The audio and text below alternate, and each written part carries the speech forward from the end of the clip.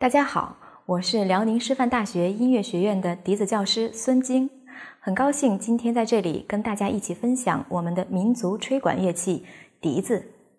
中国的笛子如今习惯被称呼为竹笛，那是由于现在的笛子大部分是由竹子制作而成。然而，在八千多年前的新石器时代，笛子是由丹顶鹤的齿骨做成的，我们称之为骨笛。一九八七年五月，在河南省舞阳县贾湖新石器时代遗址墓葬中出土了一只长约二十多厘米的骨笛，这是我国考古工作者迄今发现的最早的乐器。从图中我们可以清楚地看到，从左边数第一孔和第四孔的旁边分别有两个小孔，经测音可以发现为两个变音，应为调音孔。也就意味着，在八千多年前，人们对音律已经有了概念，这为人类史前音乐文明的初步形成提供了有力的佐证。此外，在浙江余姚河姆渡遗址中发现了一百六十件鼓哨，是用鸟禽类的肢骨做成的。鼓哨一般长约七厘米左右，管径六到八毫米。部分鼓哨至今仍能吹出各种音调，形成简单的旋律。这种音调与鸟鸣声极为相像，后人猜测它有可能最初只是为了吸引猎物，后来慢慢发展为笛子的雏形。我们不得不惊叹于先人的创造力，人们用这样一件看似简单的乐器，表达着对生活的感受和对自然的敬畏。那么，骨笛是从什么时候变为竹笛的呢？据记载，在黄帝时期，也就是距今大约四千多年前。黄河流域生长着大量的竹子，人们开始选竹为材料制笛。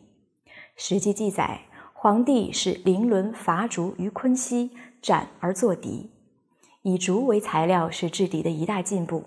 一者，竹比鼓的振动性好，发音清脆；二者，竹便于取材加工。我们现在所说的吹笛，都是指横吹的笛，竖吹的我们叫做箫。但是在汉代以前，提到笛多指竖吹的笛，也就是我们现在所说的箫。秦汉以来，笛已成为竖吹的箫和横吹的笛的共同名称，并延续了很长一段时期。到了汉代，横吹的笛子已在宫廷、军队的鼓吹乐中占有非常重要的位置。这个事实提醒了人们，中国笛的发展已经脱离了它的早期原始形态。在音律、形制等方面更加合理、更加完善，并与乐队中其他乐器日益配合与协调。在南北朝时期的画像上，我们能清楚地看到鼓吹乐队协同行奏的历史图像。横吹笛演奏者的持笛方向、角度、左右手弄笛姿势与现代笛演奏完全相同。到了近代，笛子的发展已具备相当的高度。桓伊创作的箫曲《梅花三弄》流传至今。梅花至高洁，冰肌玉骨，凌寒留香，历来是文人墨客咏叹的对象。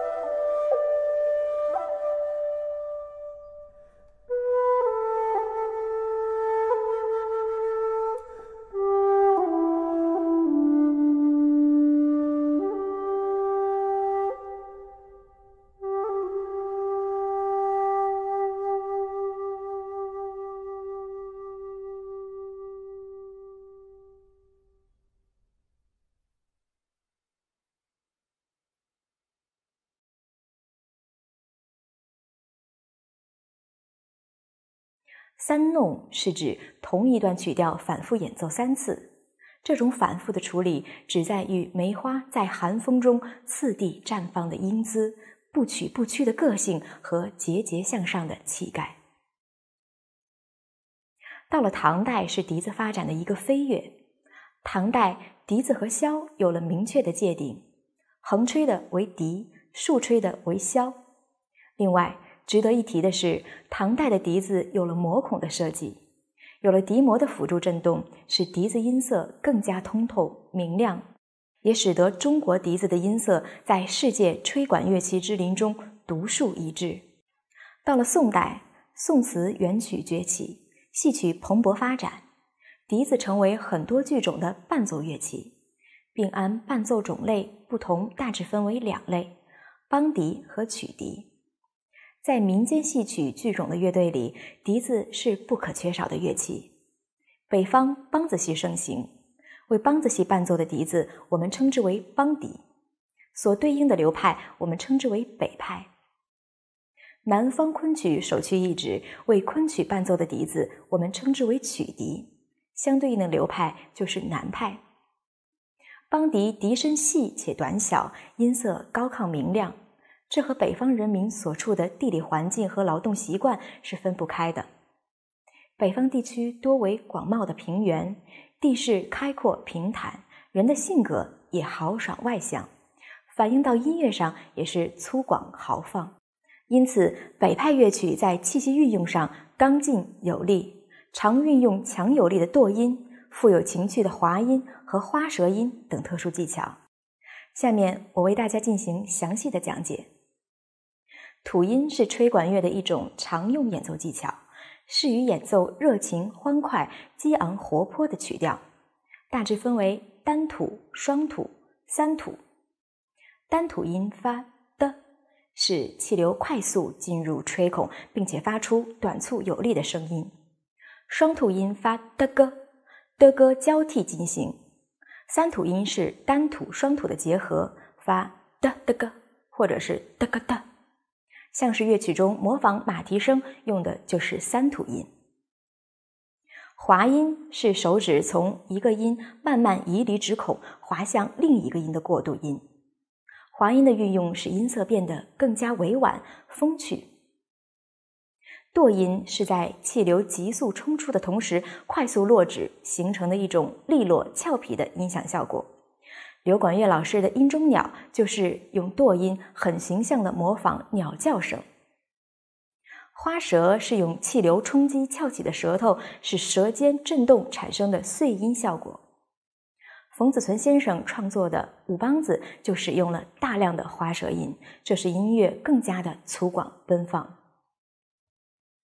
这些特殊的技巧具有浓厚的地方色彩，善于表现刚健奔放。活泼轻快的情致，具有强烈的北方色彩。《喜相逢》是冯子存先生根据二人台曲牌《喜相逢》改编而成，风格粗犷豪爽、热情奔放，表现了亲人团聚、欢快喜庆的场面。下面，让我们来共同欣赏中央音乐学院戴亚教授在金色大厅演出的北派邦迪名曲《喜相逢》。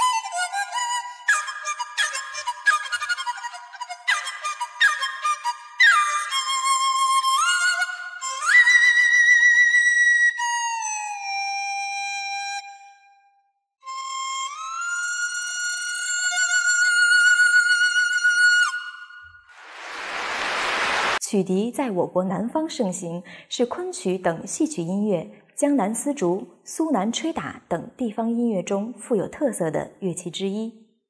曲笛管身粗而长，音色醇厚圆润，讲究运气的绵长，力度变化细致，常采用先放后收，一音三韵，悠扬委婉，演奏的曲调较优美精致华丽。具有浓厚的江南韵味。跟梆笛不同的是，曲笛很少用舌断奏，常用颤音、叠音、赠音、打音等技术，在气息运用上要求饱满绵长。下面我来为大家进行详细的讲解。颤音是手指富有弹性的一起一落，使两音连续交替出现形成的一种音响效果。颤音的长度和频率根据乐曲的情绪而定。出手即颤是南派乐曲的代表性演奏手法。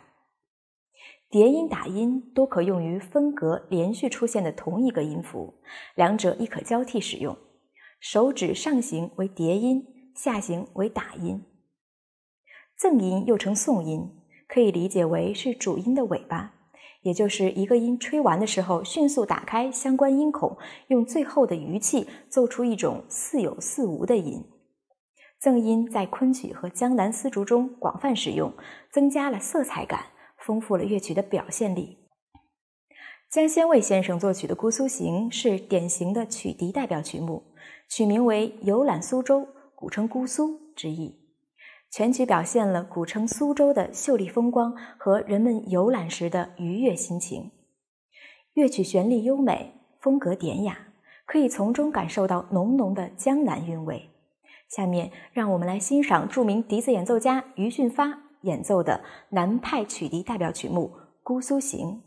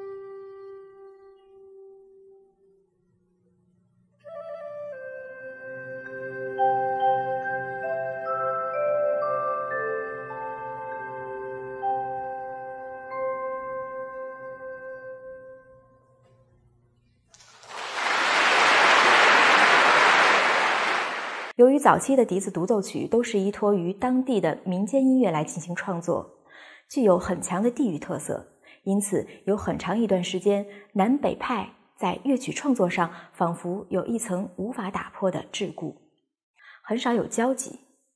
直到著名笛子演奏家、教育家、作曲家赵松庭先生认识到，笛子想要发展，绝不能束手束脚，必须打破南北的界限。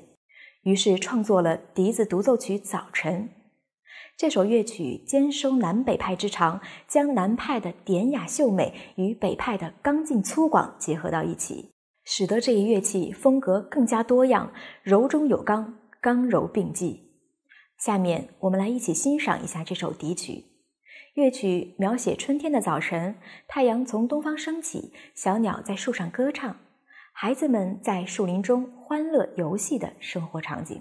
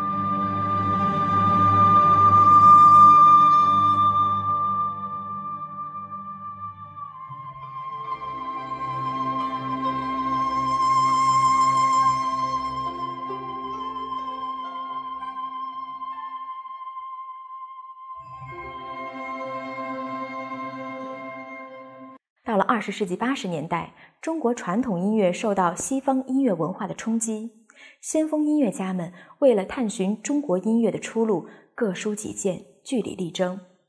很多作曲家大胆做出了尝试。这一时期也涌现出大量的现代作品，完全打破了传统的创作手法，为传统乐器注入了新的活力。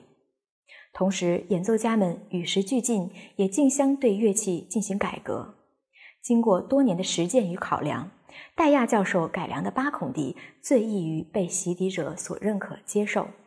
八孔笛是在不改变原有指序的基础上，加入了两个小指孔，与相邻孔形成半音关系。这样既保证了传统的演奏手法不受影响，又使乐器更加符合现代作品的需求。作曲家郭文景先生为八孔笛所创作的管弦乐队协奏曲《愁空山》是最具代表性的现代派笛曲之一，被公认为是中国民族协奏曲的里程碑。乐曲高速无穷动式的双吐、循环换气等高难度技法是笛子演奏者的巨大挑战。在乐队方面，作曲家选用了很多特殊色彩的乐器，如排箫、颤音琴、芒锣。川博等，描绘了山野在阳光下斑斓的色彩和勃勃的生机。